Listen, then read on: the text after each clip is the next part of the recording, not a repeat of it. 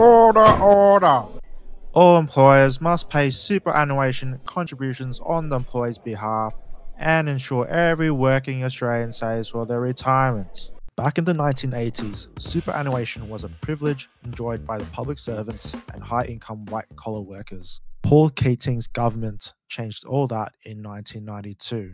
From 148 billion in 1992 before SG contributions to super became mandatory, the value of superannuation assets have gone up to 3.4 trillion by 2022. Seems like we have built a nice nest egg for ourselves, right? Well, there have been many controversies along the way and complications that may impact everyone in the future. It was legislated that from 1992, the SG contributions increased incrementally from 3% to 9% by July 2002. In the 1995 to 96 budget, the Keating government proposed a further increase to 15% through both an additional employee and employer contribution. However, John Howard was elected in 1996, reviewed the proposal, and later decided to drop it. For a long time, SG contributions remained stagnated at 9% since 2002. Throughout the years, the Labour government have tried to increase SG contributions, but the Liberals have been fighting against it. There is always one that argues increasing SG will stagnate wage growth. Wages should be growing at the level of inflation plus productivity. Yet, wages have barely gone over inflation plus productivity for over a decade. Workers are not getting rewarded for their efforts. So, would you rather have SG contributions increase or continue receiving nothing? In 1992, the average Australian lifespan was 74.5 for men and 80.4 for women. This has now changed to 81.2 for men and 85.3 for women in 2020. The Australian population in 1992 was 17.5 million and grew to 25.7 in 2021. The most important metric we should look at is the work to retiring ratio. In the 1980s, it was 7 to 1, and in 2021, it was 4 to 1. It is projected to decrease further in 2040 by 3 to 1. Given this information, do you think the age pension will be available in the distant future? People won't save if you let people have the choice. However, forcing people to invest their money in a system they don't fully understand poses problems as well. The Royal Commission started in late 2017 investigated the misconduct of the financial services industry. Recommendations were made to help change an industry dedicated to selling financial products to a profession concerned with the provision of financial advice. However, this also resulted in increased compliance measures and advice fees. The average cost of seeing a financial advisor now is around $3,500 per year. The cookie cutter education system is also failing to teach general financial literacy and how superannuation is supposed to help save for our retirement. Superannuation is not a flashy subject, but we hope you stick around to learn more about super. Most employees are entitled to SG contributions from their employer.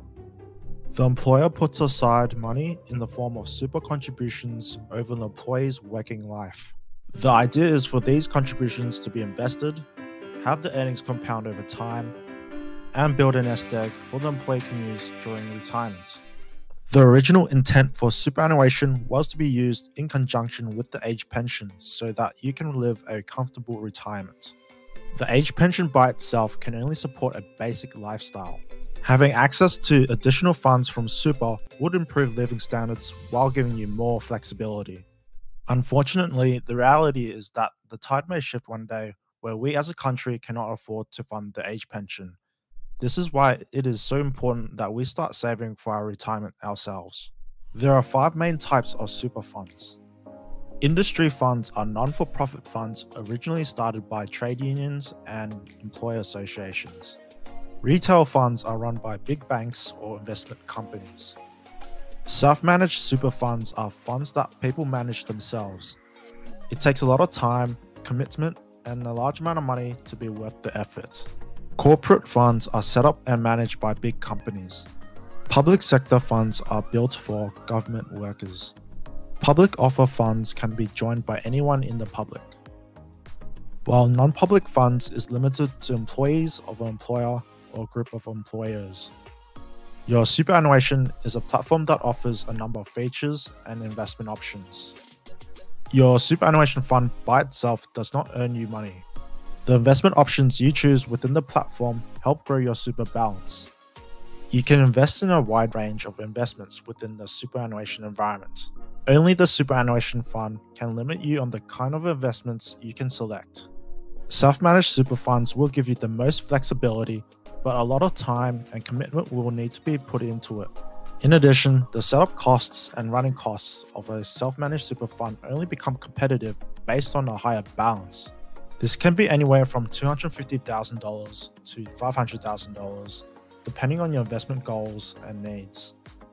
Retail funds offer more investment options compared to other types of super funds besides self managed super funds. Industry super funds offer less investment options. Generally, you can make use of them if you do not have complex investment needs or goals. Industry super versus retail funds. Retail funds have a responsibility to shareholders, while industry funds don't pay profits to shareholders. Retail funds will generally have more investment options to choose from. Most retail funds will have access to both active managed funds and index funds. They may also offer access to direct shares, ETFs, and term deposits. Industry super funds have less investment options to choose from.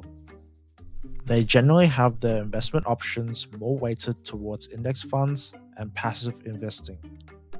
Some premixed or diversified investment options within industry funds do allocate a portion of the strategy to active management, where they think they can outperform the market, and allocate the rest of the strategy to index funds and passive investing.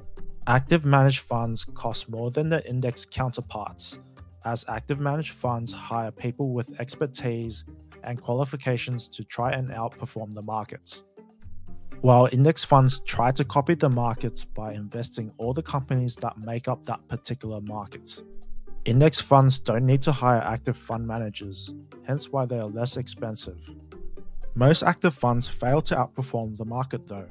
So is it worth paying extra for active management? Maybe if you can find the one that actually beats the market consistently, or if it invests within a particular niche you are currently interested in and there are no index counterparts. Active managed funds may not be for you if you cannot find the needle in the haystack or want a set and forget approach to investing. This is just an overview of investment options within Super. Leave a comment below if you want me to make a more detailed video about this. For many, it's very hard to think about the long term picture and how the retirement should look like.